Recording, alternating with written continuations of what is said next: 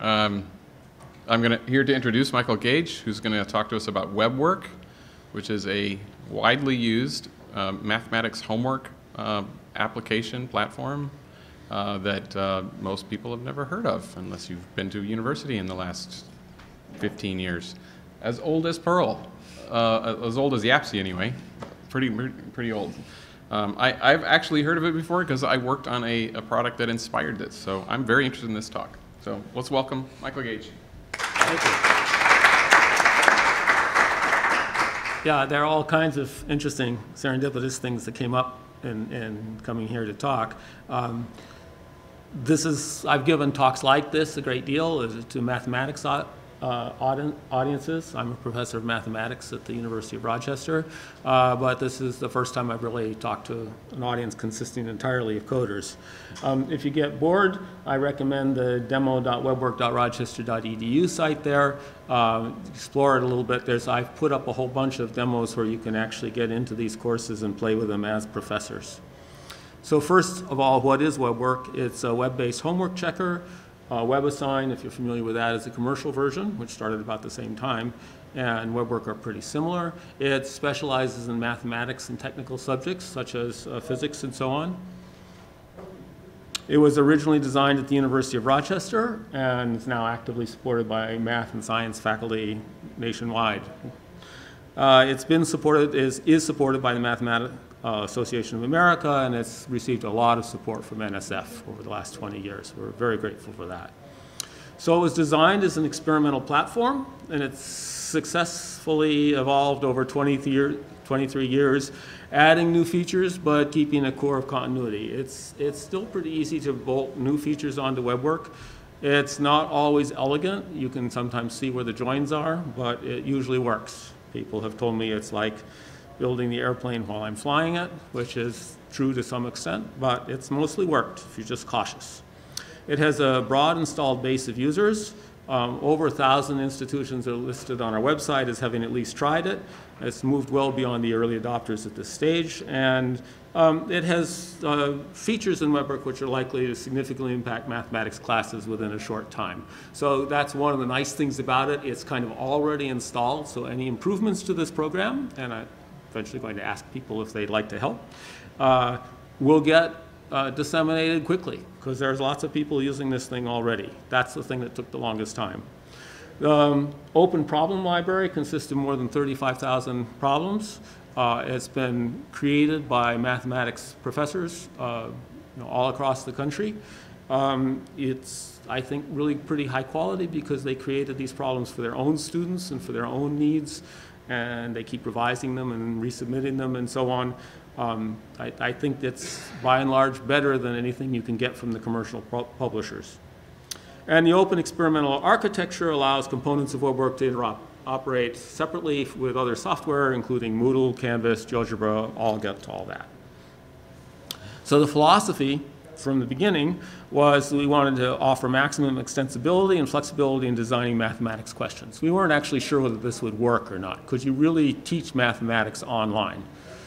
The answer is yes, but that wasn't clear 23 years ago. Um, and our motto became ask the questions you should, not just the questions you can. If you can only answer multiple choice questions and you know short answer questions and so on, and then you say, well, I can't teach that thing because I can't put it on online homework. Um, that's not the way to go. Online homework should increase the number of opportunities for education, not decrease them. Uh, and I already mentioned the open library. So, uh, open problem library.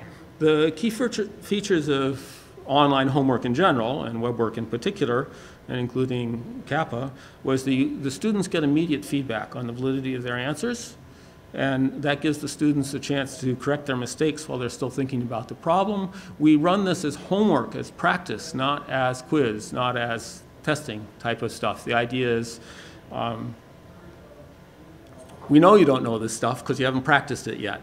Go practice it. We've told you about it. And it provides each student with individualized units, uh, it, individualized versions, and that means that they can help each other without actually giving each other the answers. And actually, that's where most of the learning takes place, is when the students help each other understand what's going on. Students love the instant feedback. Instructors like the automatic checking.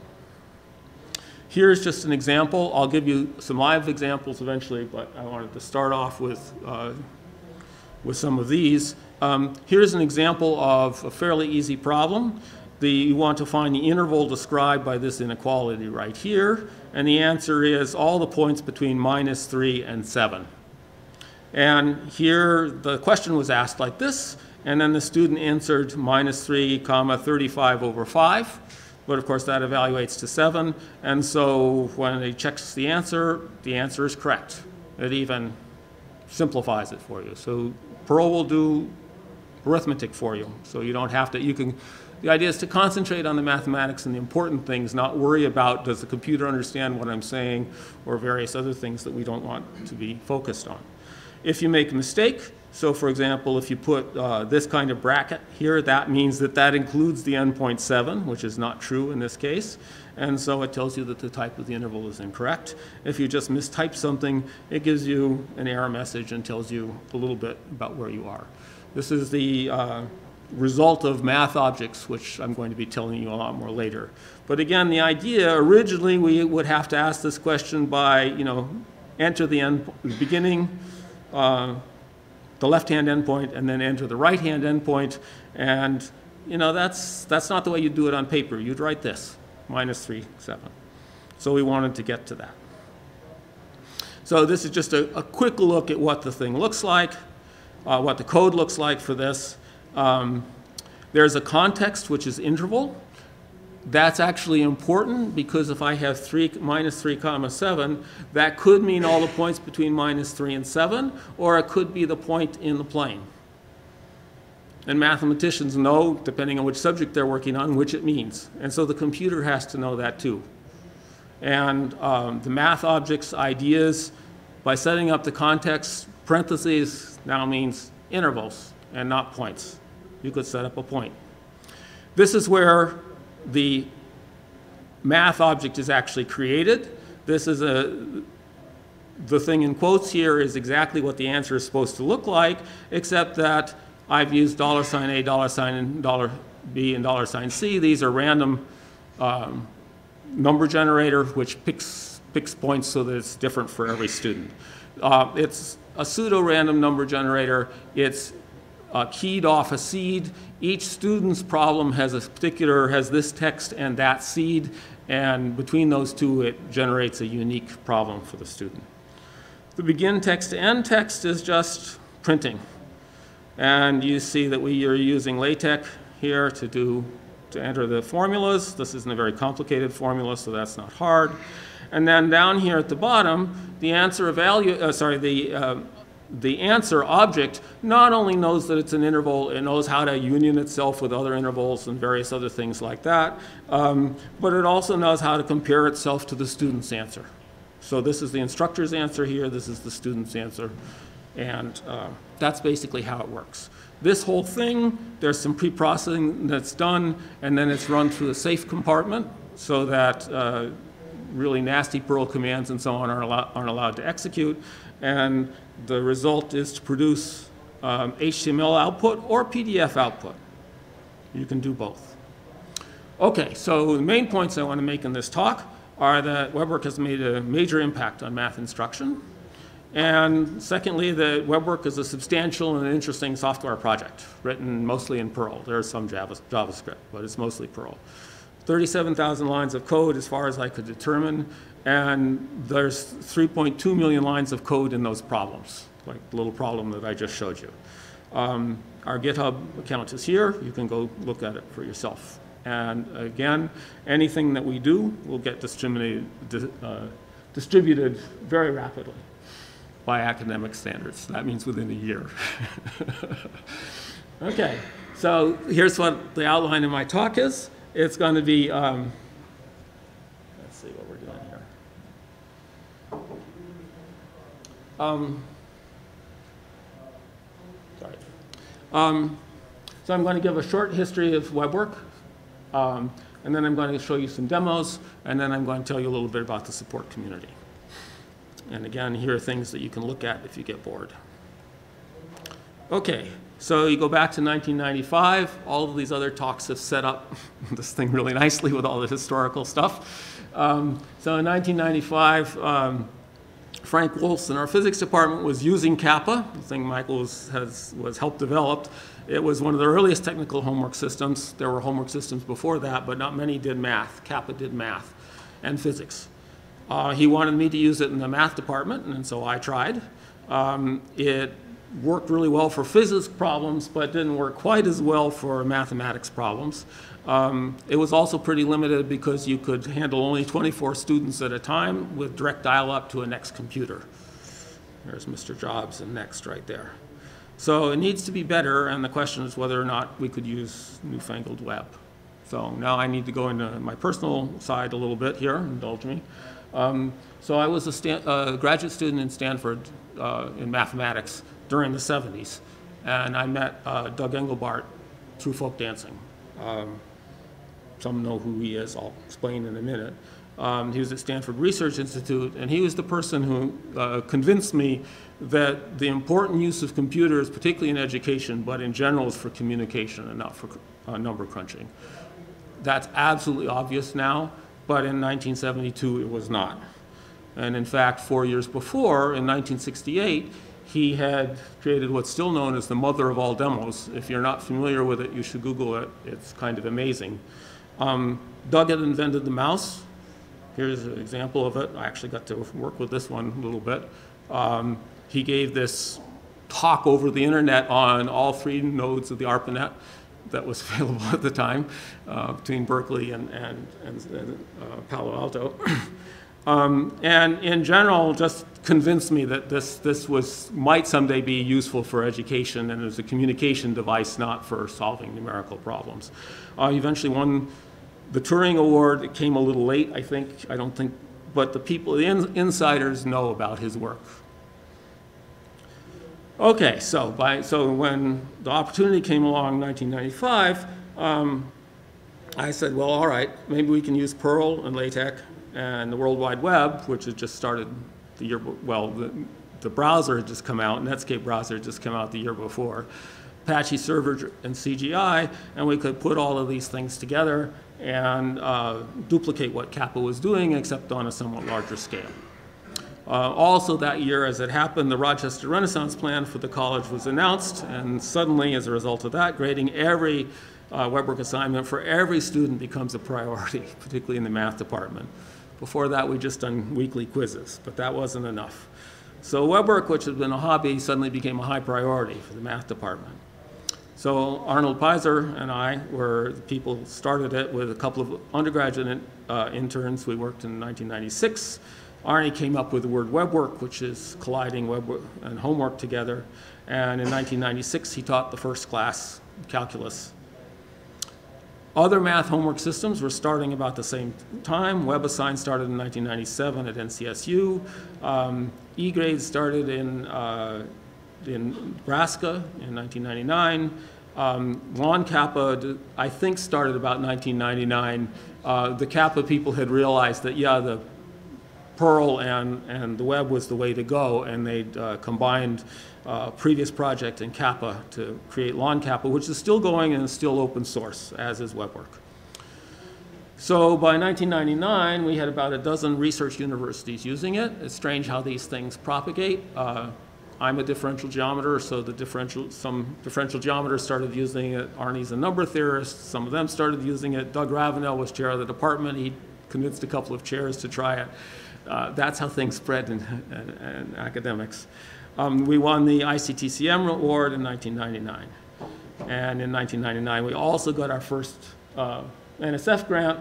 Uh, myself, Arnie Pizer, uh, and Vicki Roth, who was director at uh, uh, Center for Educa Excellence in Teaching and Learning at Rochester.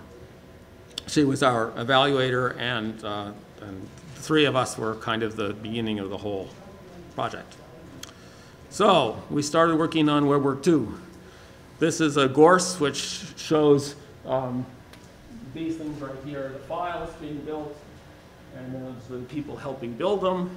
Here are some of the people who are working on this. Sam Hathaway was an undergraduate at the time. Um, Davide Cervone is a uh, geometer who's, chair at Union, uh, at Union College and an extraordinarily good programmer. You're going to hear a lot about him later. Um, uh, Rob Van Dam joined us later. I hadn't realized he was going to be here, but he's here in the front row, so you can, you can talk to him about this. Uh, shortly after that, Mathematics Science Research Institute sponsored us. And this is where uh, we added a bunch of other things. This is where the math objects first got invented. We'd started on Perl 4, which didn't have object orientation, although we kind of wrote that way. Uh, with Perl 5, we could really use real math objects, and that simplified things, particularly for the writing, and also it made it more uniform for checking students' answers.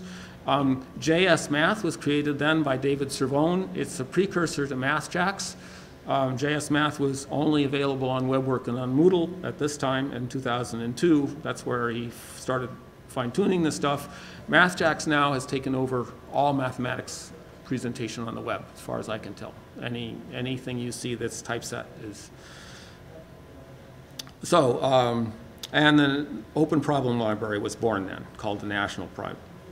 A few la years later, American Institute of Mathematics sponsored us. We had an outreach, which we got a lot of people involved. Many of them are still involved.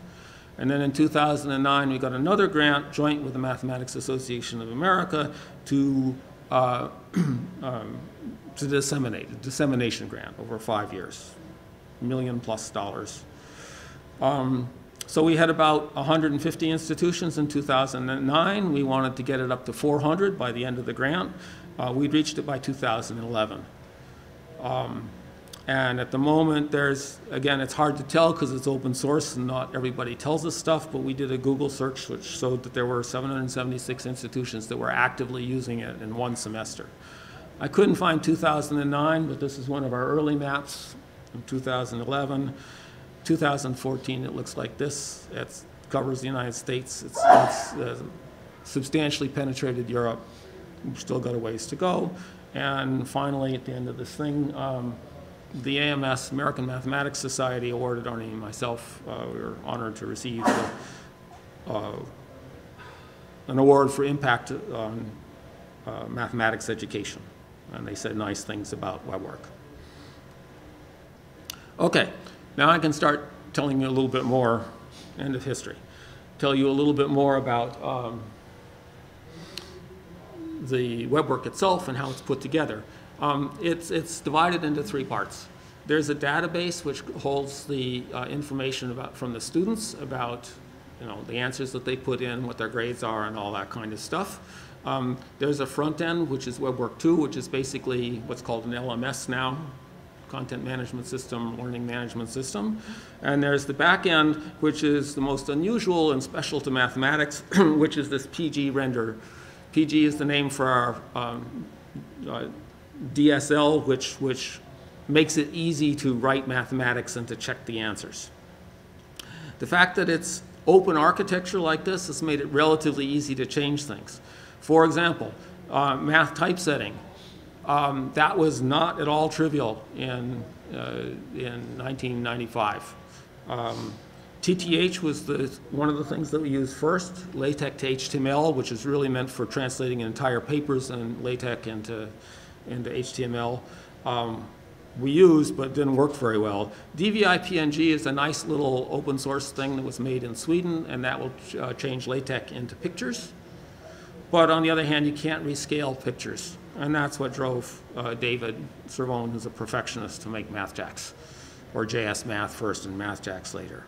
During all of this time, we produced PDF output so every one of those things can be rendered either as HTML or as PDF, and that was something we inherited from CAPA. And in the beginning, this was absolutely necessary because uh, complex formulas couldn't be read on the screen in the early days. Now they can with MathJax. But um, I still find this useful educationally because for homework, sometimes it's great to have it on the screen, but sometimes you'd like to be able to carry it around with you elsewhere and take a look at it.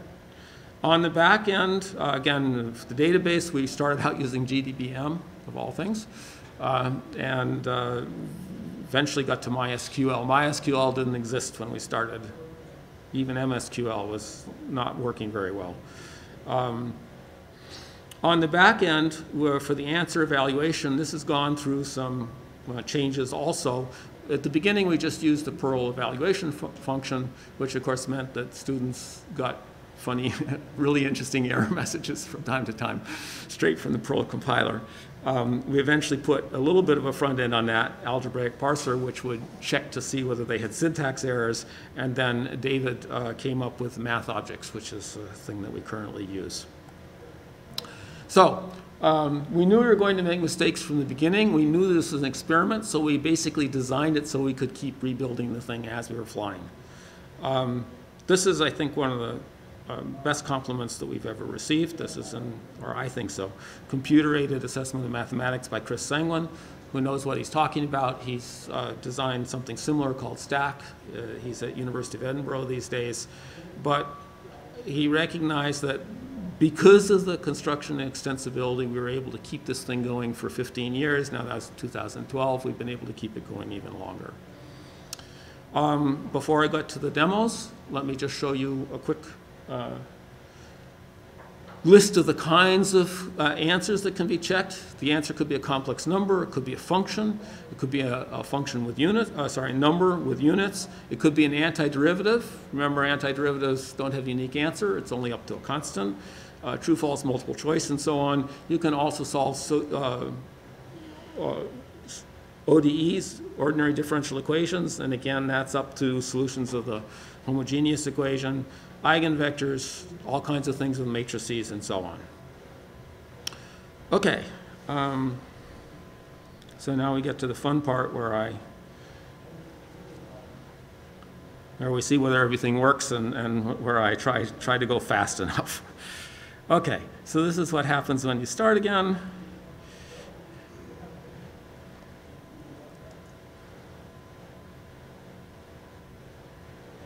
All right, so down here I have Perl Conference demo, and you guys can reach this by going to that website, and you can, this thing, and you can, you can get a version of this which you can actually use and write on. You enter as Prof A and log in Prof A, and you can do it all yourself. So, um, yeah, let me start first. There's a bunch of tools here on the left-hand side. This is part of that front end, but the main thing I want to show you is the library browser. Oh, I'm sorry, thank you. Um,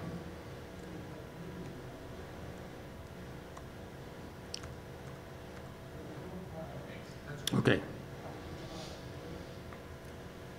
Thanks for helping on that. So let's say I want to do calculus. Uh, no, let's do single variable. That's easier. Differentiation. Product rule with trig functions. You can see there's 41 problems that matches that description. Takes a little while for them to come up. And there they are.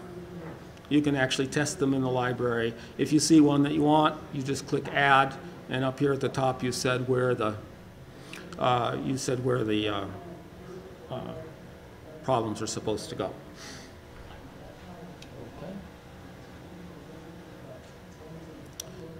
All right. So um, let's go back to the homework sets here.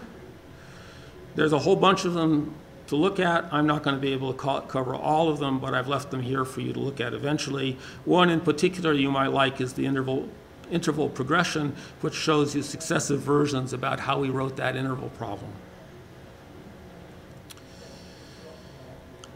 So I've entered the answers already, so you can, I don't have to wait and watch me type. This just shows you that you can enter square roots, and it'll check it. This one shows that you can produce a graph.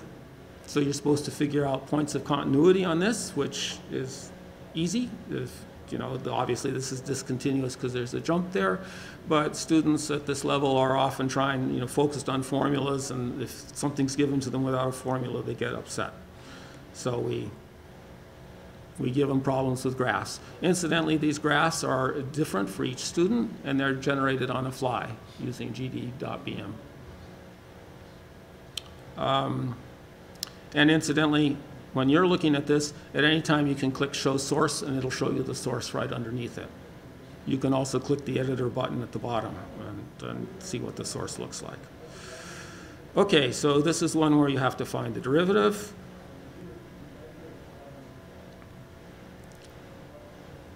The antiderivative is more fun, so uh, I was going to show that for you at the end here. I- So we need an antiderivative, a general antiderivative is just a function that when you differentiate it, you get x to the fourth cosine of x to the fifth. Trust me, this is an answer.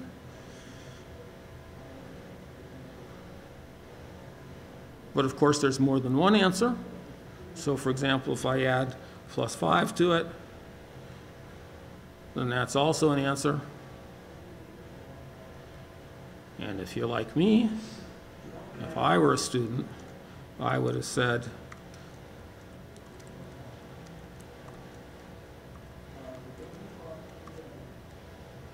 I would have entered that, because sine squared plus cosine squared is always equal to 1, which is a constant. And then I prepared to get really mad at the instructor when the computer wouldn't, wouldn't accept my correct answer. So everyone writes programs for themselves. I wrote one that would have handled my earlier self, or maybe even my current self. Here's another example of that. Um, the, we didn't have units at first, but the physicists definitely needed units. So this is sides of the triangle. The answer is square root of this thing in meters. And that's the right answer. But again, you don't, I mean, I, I make jokes about this, but it, seriously, also, you don't want the student thinking about, well, what does the computer want? You want to think, what's the answer to this problem? And any correct answer should be accepted. So if you put in 100 centimeters, that should work too.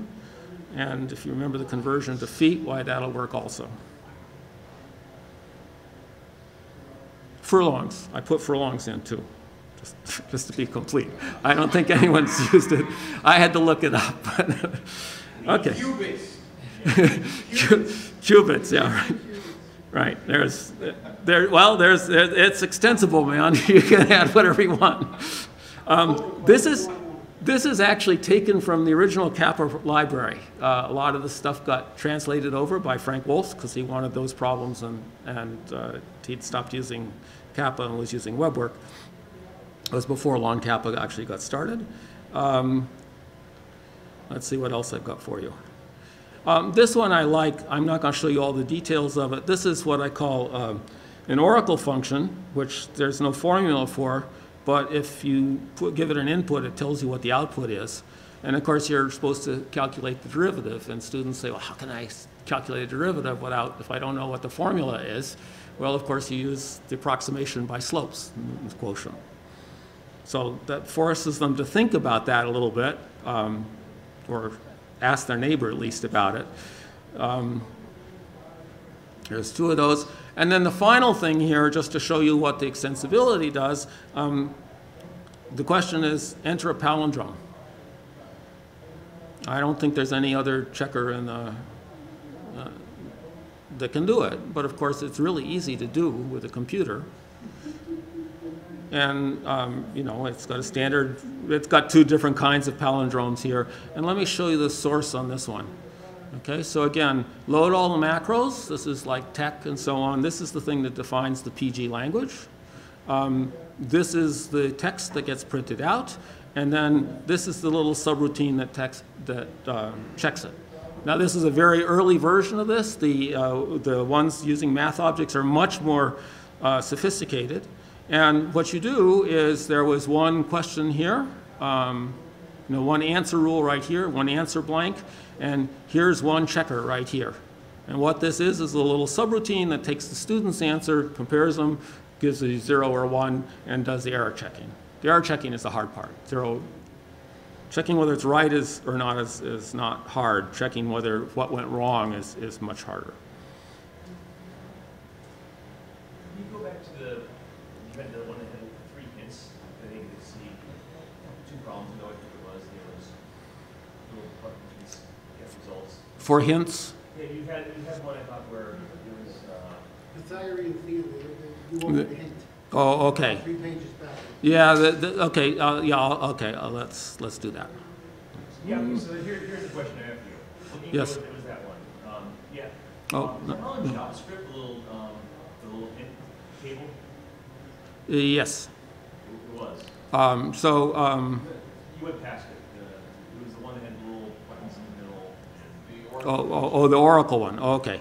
Um, So, yeah, so here, here's my question for you. Uh, if I'm a uh, student and a slacker and know about Google, um, developer tools, can I just, uh, type two point three, modify the actual page text, get the result, and plug it back in and get it, and, uh, No. Okay. And in fact, um, so there, on this, this first example right here, you could go read the source code and figure out that there's some JavaScript in there and figure out what the function was. Um, Now what happened? Um, But, um,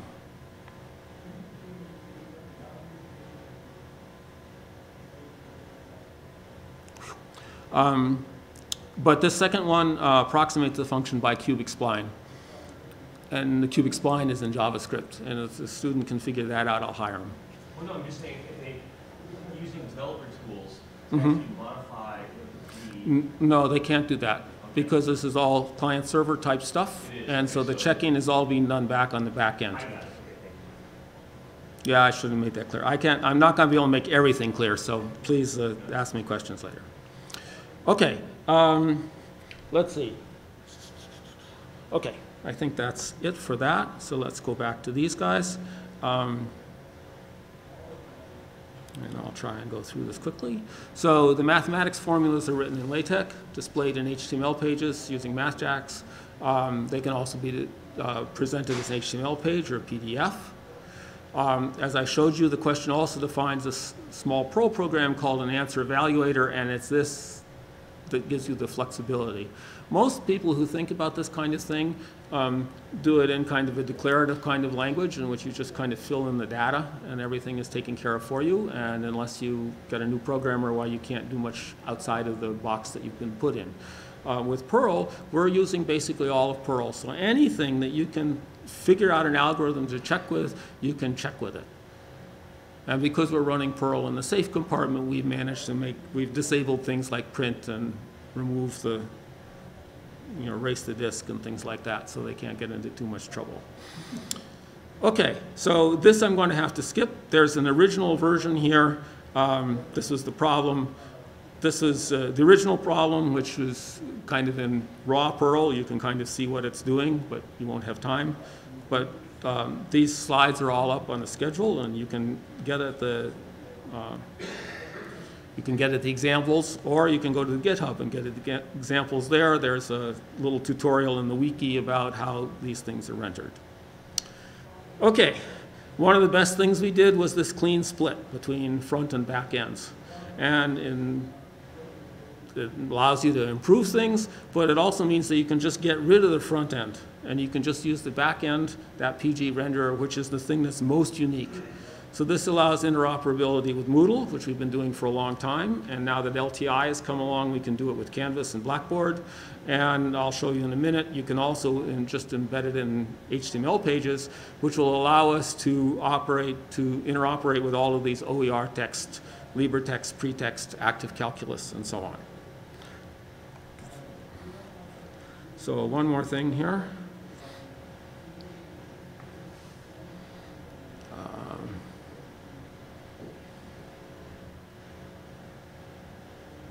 The one, so this is Moodle.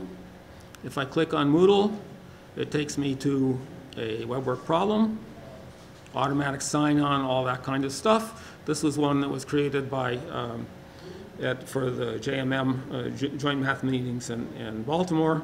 Um, This shows you an example of a scaffolded problem in which you can't see, I'm an instructor, so I can see everything at once, but a student has to do this thing first, and then once they get that right, they're able to look at the second thing here, and then they can look at the third thing. So again, this wasn't anything that existed at the beginning of this project. This is actually two or three years in the making, but it's kind of just finished, uh, you know, fairly recently. Okay.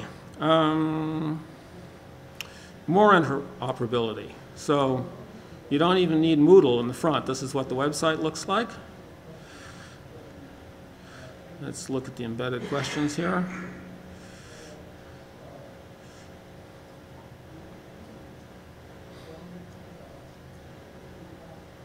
Uh, Oh, yeah, sorry, they're right here. I I had to go to them. So this is, uh, this is just uh, an iframe in an ordinary HTML page. And it's got, it's got a little GeoGebra applet running inside it, which allows you to help answer this question about what values of the integral will be equal to zero. Um, Here's an example that allows you to do integration and so on. Topics of areas between curves. Um, I actually think I have a slightly better uh, version of this thing set up for you in the uh,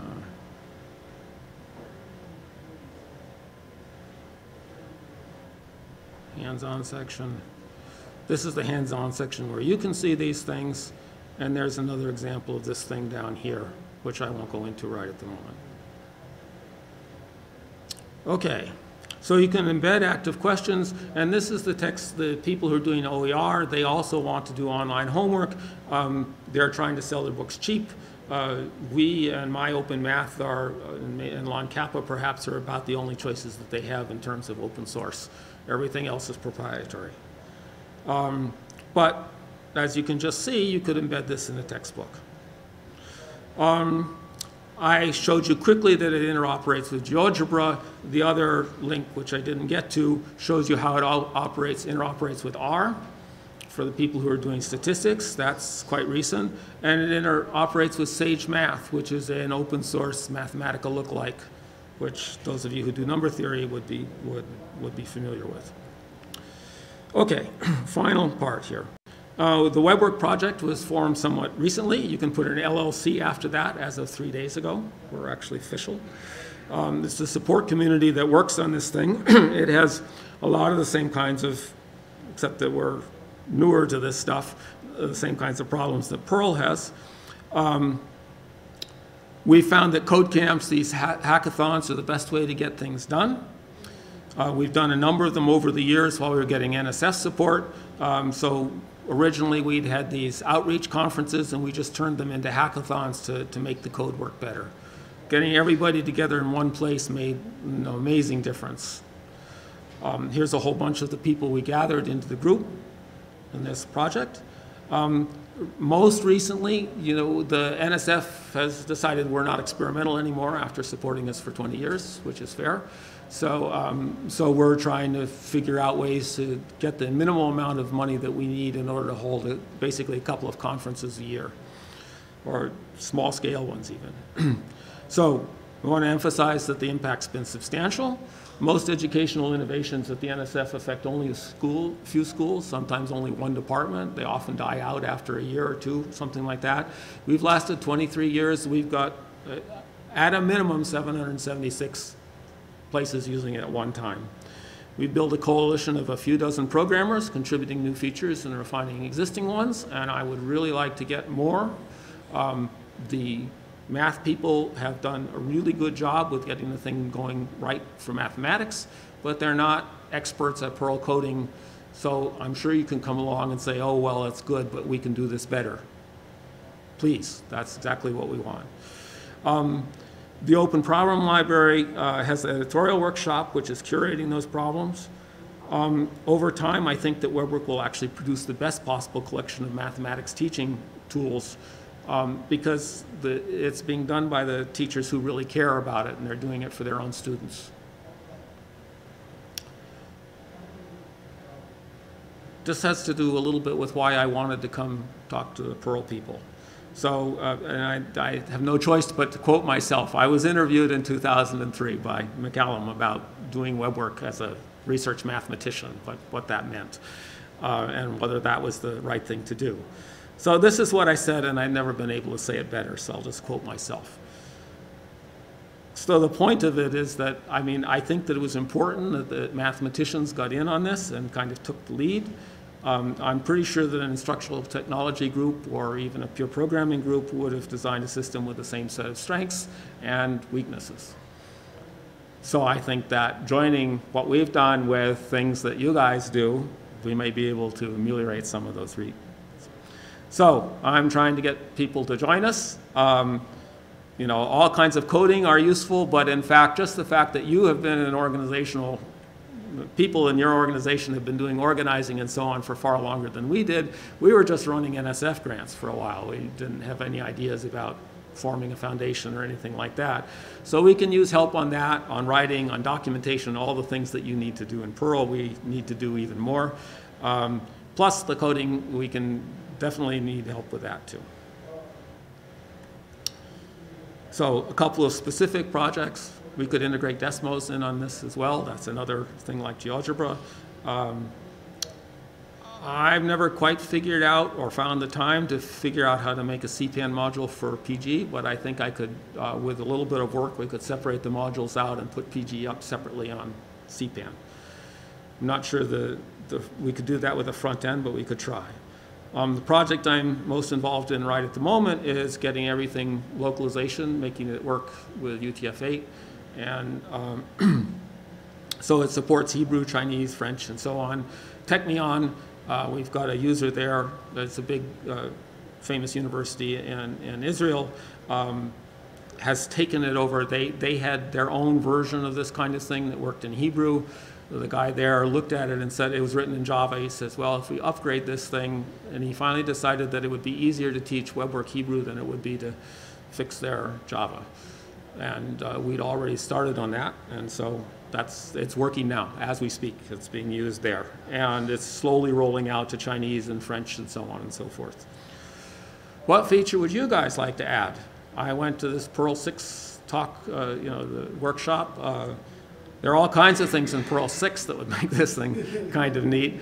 Um, one has to be a little bit cautious about that because rolling Perl 6 out to the 770 institutions using it might take a couple of years. So, um, but certainly ideas like that, and it turns out there's all kinds of things in Perl 5 that I didn't know existed as of that I learned this morning. So thank you.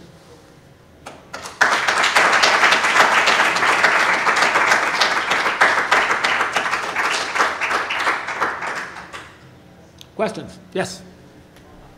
I have a question about uh, how different schools use databases and how wedded to a particular database, MySQL setup that you have.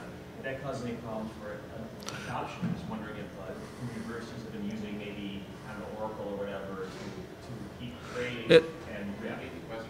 Yes. Uh, so the question is, do different schools use different databases, and does that cause a problem? Um, that particularly hasn't caused a problem. Um, it is. It's mostly been used with MySQL. I know at least one school that's trying to adapt it to PostSQL. Uh, uh, sorry. Postgres. Postgres. I'm sorry. That's what I meant. Yeah. Um, and um, and it was designed, Sam Hathaway designed it so that it was agnostic and so that we could hook it up to a bunch of databases. But until you actually have it working on two or three databases, it's not uh, completely agnostic. High schools grabbing into these things? Yes. And so that's been one of the biggest growth, the growth industry right now is high schools and community colleges.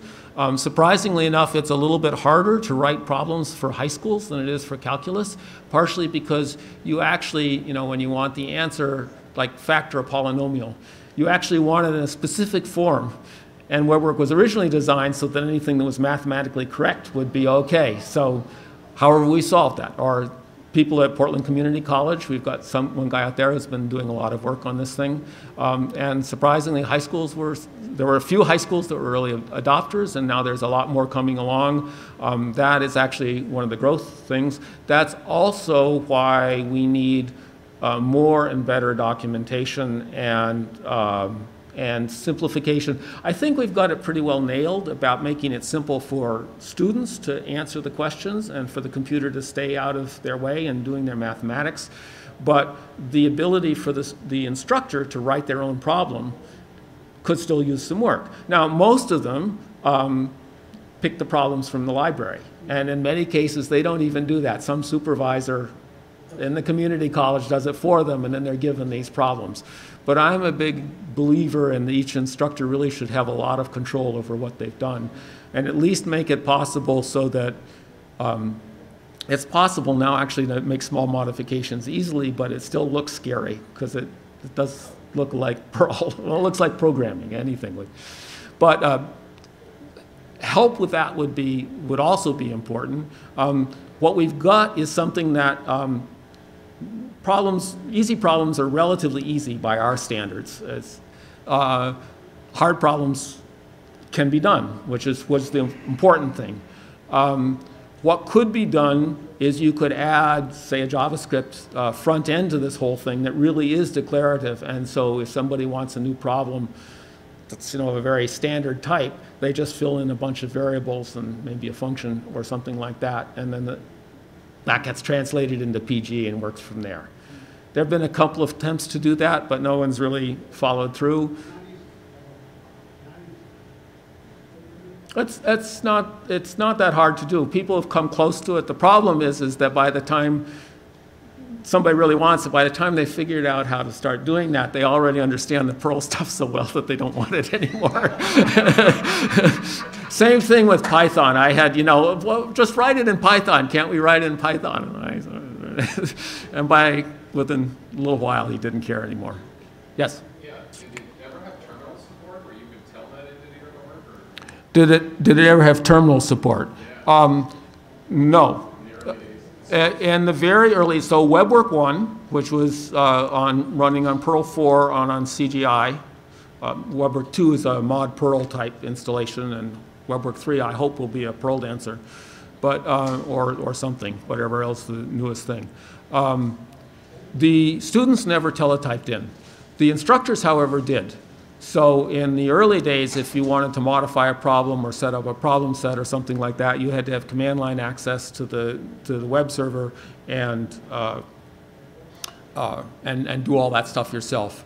Part of the stuff that Rob was uh, involved in was changing that so that the instructor interface was also on the web and you could add class lists, add students to the class, assign students to different homework sets, create homework sets. Actually, all of that's Rob's work. Yes? Yeah, another question. Um, how do you, how do you handle a situation where, like, some problems would require mathematical libraries that Perl doesn't have? And so you need to access to, for example, um, the complementary error function or something weird like that. You know, you can't, you Um, well, so, well, all right. So when we started this thing, we said, everyone said, oh, how are you going to do this thing without a, a computer uh, CAS, you know, computer algebra system? Uh, that includes Chris Sangwin, who thought that was essential. Um, and we said, well, all right, Perl, you know, we'll hook it in when we need to, because Perl can hook in anything. Um, so, um, and then we basically never found a need for that, including what you're mentioning. I think we had all that statistics stuff was, and an enormous amount of that stuff was already on CPAN, and what wasn't on CPAN we wrote. Um, basically, and you know, huge matrix, uh, well, not huge because this is, these are homework problems. I don't have to do industrial strength uh, matrix inversion and things like that, but you know, three by three, five by five matrices, Perl does that just fine. And so we've succeeded very well with that. Um, we have hooked it into SageMath, and I found that useful because even though you could write it in Perl, why you could, you know, modular arithmetic and things like that are a little bit easier in Sage. On the other hand, there's at least one guy who just doesn't like being attached to Sage, and he's rewriting all the problems that I did and so on using Sage. He's figuring out how to use it with CPAN and custom modules. It's amazing how much mathematics stuff you can do with just straight Perl. Or at least I was, I was impressed. And other people, when you explain it to them carefully, are even more impressed. Other questions? Yes, sir. Accessibility and whatnot, uh, can, uh, can you, can students use this with something like Lynx, text-only Yes. web browser? Yeah. So this was a very important part. Portland Community College, which I mentioned earlier, um, has I- all schools, but is particularly big on disability. And uh, this last question here. So um, we have it's on it's on our website. You can kind of on our wiki page search for accessibility. We got glowing recommendation from them, way above WebAssign and and uh, Pearson's My Math Lab and various things like that. A lot of that is due to the fact that we use MathJax. And Davide Cervone and his team that, on doing that are very interested in accessibility. Every new version of MathJax that comes out is more accessible than the last. Um, and individual problems might not be accessible because the instructor, the guy who put the pictures on the page forgot to add alt text and so on. That's one of the things we try and catch when we do the um, editing for the library. I'm afraid that's the last question in public, but I will be glad to, I'll be around through Thursday, and I'll be glad to answer questions. I have cards if you need that. Happy to talk to you. Thanks very much for your attention.